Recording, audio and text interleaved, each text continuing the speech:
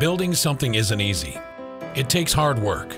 Glenn Jeffries knows what that's all about. He's not a politician, he's a builder. Glenn built a business and created hundreds of jobs. A husband, father, and grandfather. Glenn is volunteering to rebuild flood damaged homes. In the state senate, Glenn wants to rebuild our economy by protecting and creating jobs, reinvesting in education, and tackling the drug crisis. I'm Glenn Jeffries, and together we can build a better West Virginia.